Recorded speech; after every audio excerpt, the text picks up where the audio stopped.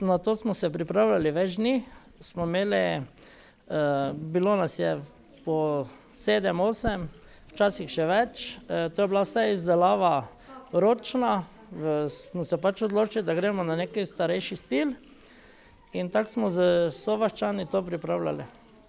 Verjetno je bilo pa kar nekaj ur dela vloženega v to.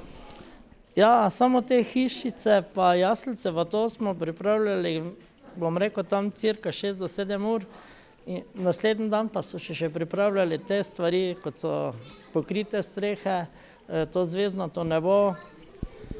En dan smo delali popoldan, dva, midva s prijateljem, ta podstavek pa to ograjo, tako da bilo je kar dela, bom rekel, ogromno, ne.